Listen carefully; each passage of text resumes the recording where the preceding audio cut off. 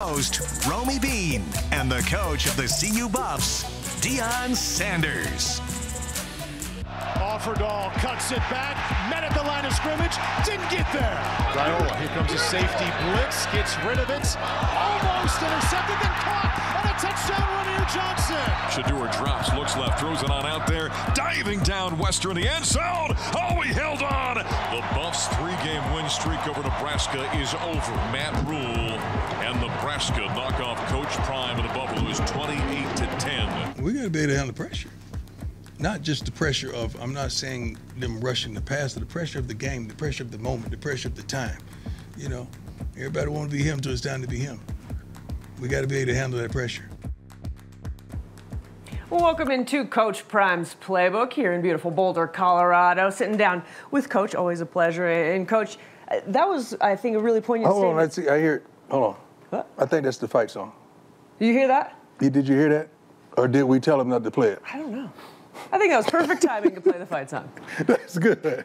That's good. How stupid is that? Ladies and gentlemen, we, sometimes you just got to laugh at the foolishness of it all. How stupid is that? Do you ever get tired of it though? No, you know what? When it, when it's about me, like Yeah. they're attacking me, I'm good. Yeah. But when you're attacking the kids, and especially my sons, Mm-hmm.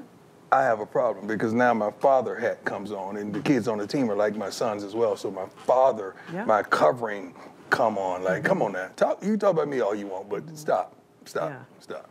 But you can only protect them so much from Yeah. that. How, how do you see them dealing with all of it? They're good. It's, it's, it never stops. I mean, they're good. It, it, like two things. Mata has like Mata wanted uh, Daddy Yankee, Lou Gasolino, like when he kicks. So you know they mm-hmm. play that, and- and that's that's hilarious. It's funny. Even walking out last week, it's not proper for kids to leave during the play. Mm-hmm. So you wait till TV timeout. Then Chidozie and Shedeur is running out, but all you hear is the Shedeur left during the game. Mm-hmm. Like, you gotta stop. Mm-hmm. But it should be accountability in what we do mm-hmm. as reporters. What I'm saying, we, because I was in that business for 20 years, so I kind of know how it rolls. I know who authorizes the foolishness to go come out publicly. Yeah. Yeah. Well, I agree more. We've got to be accountable, for sure. Now ain't no accountability no more. Everybody with a mic is a reporter now, an analyst. That's the truth. That's the truth. Uh, can we skip over to the game talk? Let's go. Okay, let's go. So I thought it was an interesting statement you said there. You know, everybody want to be him until it's time. They got to handle the pressure. It feels like this team was built on handling the bright lights and the They- pressure they- in the moment. They can. They can. It's in them. Just got to pull it out of them. Like it's it's it's in them. It, it really is. And I, I, sometimes you can't explain what transpired. You're like, Mm-hmm. I know you could handle that. I know you're built for that. I know you don't crumble under pressure. And and some things happen. You're like, what was that? Mm-hmm. But we will do better. So you talked about, and we saw it on social, about persevering, about how you respond to adversity. Yeah. How do you want to see this team respond this Well, I think the defense responded tremendously in the second half. Offense did some pretty um, decent things. We got to be able, everybody know we got to run the ball successfully to have more of a balanced attack. That's what Shedeur was saying uh, in his presser after the game, and they cut the question out, but they just put the answer, the response down. So you got to have balance to be able to form this game sometimes you could just overwhelm someone like we did in the first game and you throw for a billion yards and you can still get it done. But to really go the distance, you got to have a little more balance, even if it's 60 40. It's just got to be something. Let's talk about the defense, who, as it kind of seems like each game, as the game goes on, they get better They get and better. stronger and stronger. Who's standing out to you? In, in Uh, well? Cam. Cam is doing a phenomenal job. Uh, Chidozie has been consistent as well. I believe both corners are holding their own and doing their thing. We getting some some heat, some pressure inside from up front because uh, second half they stopped the runs like like like no other. Bentley, uh, those guys are doing a phenomenal job. I'm, I'm proud of them. I really am. I really am because they're not giving up or giving in. They're fighting to the end. When we talk about establishing the run, and I know every week you say we want to establish the run. Look, you you've forgotten more about football than I'll ever know. Why is it so hard? Has it been so hard to establish? The It's the run? attitude. It's a straight attitude up front. You you got to want to um, run. You got to be committed to that, not as a team, but just as a line, as a the thought process. Like we can do this. Yeah. We got this. Like when it's third and one. Uh, when I was a cowboy, the line used to look over to the sideline and like run the darn ball, run the football, Yeah. and you want to see that. You want to see that. You don't want them to be complacent Mm-hmm. or to sit back and they choose to throw the football instead of Mm-hmm. want to run the ball. You got to want to see that, but uh, that all starts in practice. Yeah. If you don't see it at practice, you're not going to see it in the game. Yeah. Well, then moving on to the offensive line, I feel like one thing with the offensive line, it's like it's like five fingers that got to move as a You fist. got- like you to. need so much cohesion, but you can't expedite that Yeah. when you got a lot of new guys. Yeah, is but there a uh, way to yeah, speed it up? It, it is, and I I heard something that was crazy. Said we got to stop shopping in the portal. Seeding is is yeah. yeah. Hank is was here. Yeah. Okay. Yeah. Mm-hmm. Tyler Brown came with us. So you only have two guys from the portal. Yeah. Yeah. Basically. Yeah. So don't say it's because the guys came from. No, no, no. That's just how it is. You, um, you just got to execute. You got to want to whoop that guy in front of you on a consistent basis. And we always say, don't leave this game and say it. Uh, we want you to say it wasn't my, it wasn't about me. Mm-mm. Mm-mm. Uh, if we lose, it wasn't my, about me. Make sure you do your job so it's not about you. Mm-hmm. That's interesting. That's a lot. That's a lot to chew on. We're going to take a break. I'm going to chew on that, and when we come back, we're going to get to know one of those stars of the defense. You already mentioned him. That certainly put the nation on notice. We'll sit down with Cam'ron Silmon-Craig after this. Now runs to his right, whips it down the side, and it is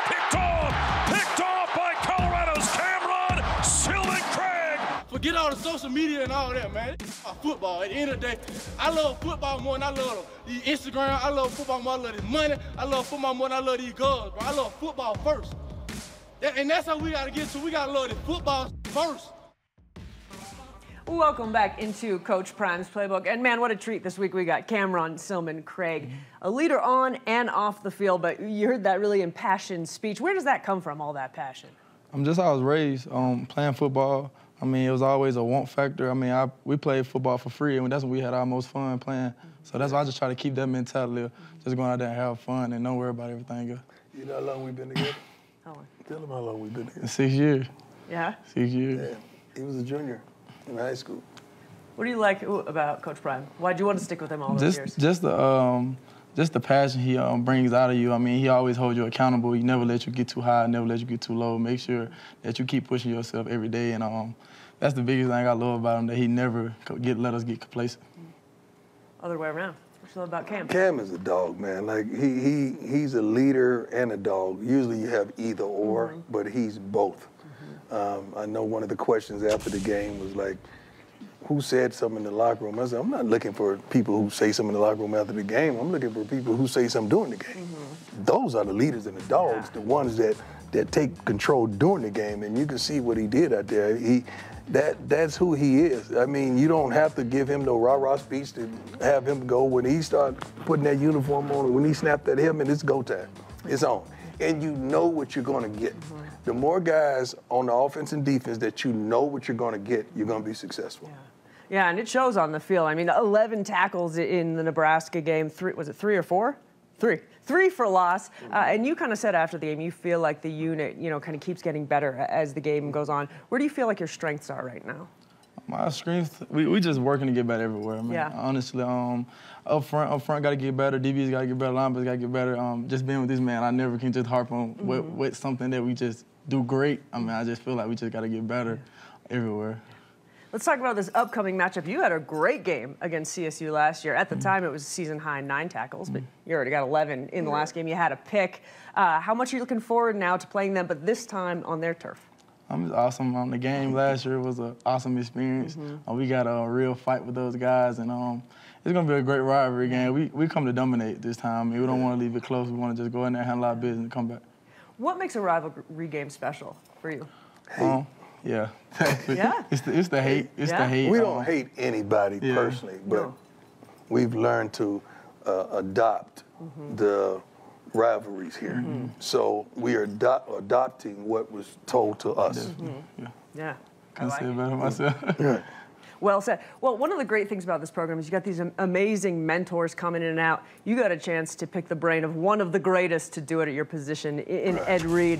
What was that conversation like? What, would you talk to him about? Um, honestly, last game, that's what I um, went back to what he was telling me. He told me, well, when everything going on around you, you just got to keep a calm head. I mean, if ever you got to keep a calm head for the front line, for the linebacker. So this um, weekend, I just tried to go out there and make sure I stayed in the game and kept everybody calm. And we just came out there and just kept doing what we had to do. So um, I thought about it a lot. Roman, that's valuable because when you're off and you're on the sideline, you got to still be in the game, mm-hmm. even though you're out of the game. But you got to still analyze and visualize what just transpired, what they're trying to do, because you're about to get back up in six, several plays mm-hmm. to go back out there and correct whatever they're going to try to target. Mm-hmm. And a lot of guys get lost on the sideline, looking around and, and just in la la land, and you go out there and they're coming at you, and you're not prepared mentally, emotionally. Well, this is this this has been amazing because Cam, man, I feel I feel the energy. You got me running, wanting to run through a brick wall for you. It's so fun. Can't wait to see what you do on Saturday. Um, thank you so much for joining us Thank today. you. Well, we got to take a break, but up next we're going to take a deeper dive into this rivalry week with Colorado and Colorado State. We'll be right back.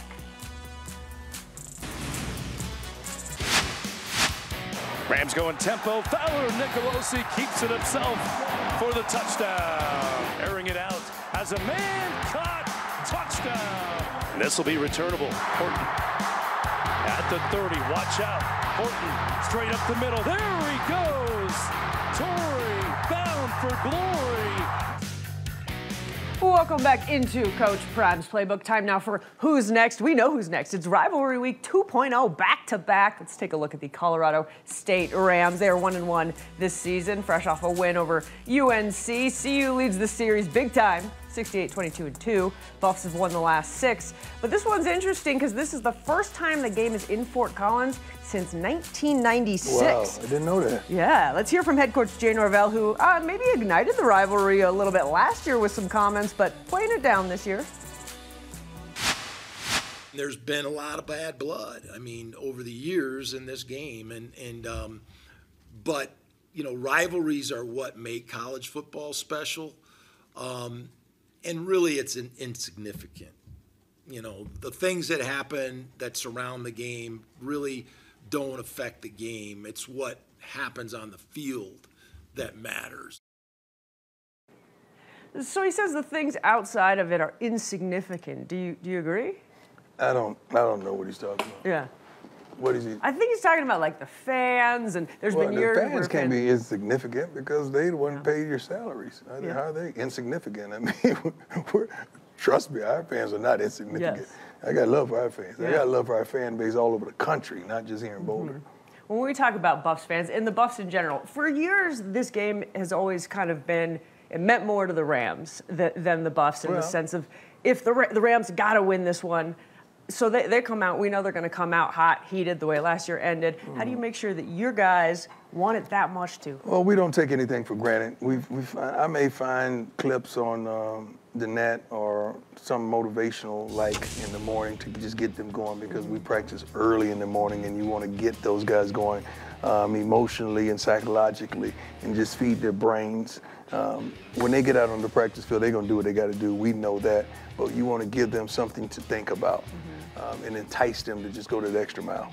So you guys just came back from Nebraska, where that was a wild environment. Right. Now Canvas Stadium, it's going to be intense. It's going to be heated there too. Maybe, maybe at totally different levels, but still, what are you expecting from that environment? Well, it's going to be sold out. I think everywhere we go is a sellout, right? Yeah. So it's going to be sold out. Um, they're going to want to get out to a great start. You can't get out to a bad start at home, us or them. And they want to capitalize on some of the things we didn't do well. Mm-hmm. But we got to counter that. Mm-hmm. Both of us have studied a tremendous amount of film to this mm-hmm. point, and we're going to continue. But we got to, our playmakers got to make plays, and we got to be, we got to win the physicality game, and we can't be penalized as much as we were last week. First week we were wonderful penalty-wise. Last week we were totally undisciplined.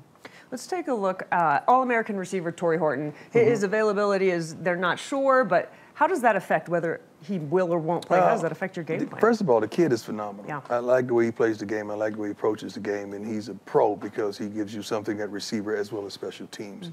Um, I like our corners. Mm-hmm. Yeah. I really like what they bring to the table, and they want the matchup. Mm-hmm. Like they want the smoke. They like that. Um, it's a better game. I want them to come with everything they got Mm-hmm. because we are. Yeah. You talk about your corners and, and safety, and of course it makes me think of Shilo. Which Yeah. now you said it'd be kind of a quick recovery, but but I'm curious when he went down. Yeah. As a father, did you have that thought that maybe this is the last time I coach him? I'm, I'm so wrapped up into the game, I don't really know Yeah. um, what's going on with that. I was remember he was standing up talking with the doctors. I was like, "Get over there on the bench. Coach is calling you on the headphones. He need to tell you something about last series." He's like, I'm, my, "Something's wrong with my arm." I'm like, "Man, get your butt over there." Did once they told me what happened, and I, we walked down the sideline during the timeout, and we talked about it, Then we talked about the serious nature of it. And my father, Cap, came on. Yeah. You know, to comfort him, to let him know I still believe in him and he's going to finish the season phenomenally. But this is just a setback to have a setup to be phenomenal. So then he had uh, surgery on Sunday, and uh, being there uh, was hilarious in the hospital, especially when he's highly medicated. I can't. I can't say some of the stuff he said. It wasn't profane, but it was just hilarious. Right. That's who Shilo is. Man, I wish we could see that. Well, um, we wish him a speedy recovery. We're glad it's not a season-ending injury. We got to take a break. On the other side, you did something really cool in Nebraska that I don't think a lot of people saw, but we caught it. We'll take a look at that when we come back. Amen.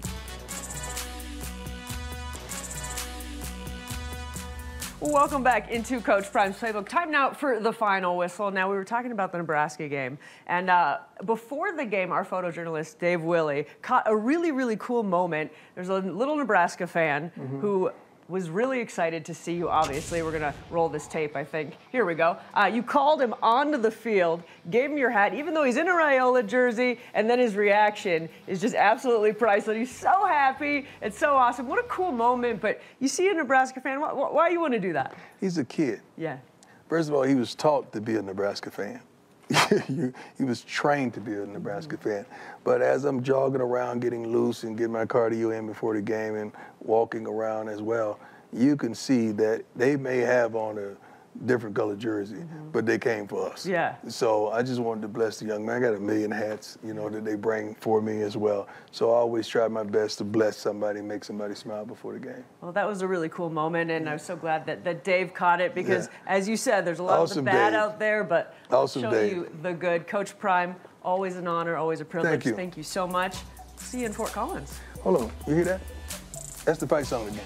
There, we're gonna have to change our outro music, aren't we? You gotta have fun with ignorance. You gotta have you gotta fun. Guys, we will see you in Fort Collins.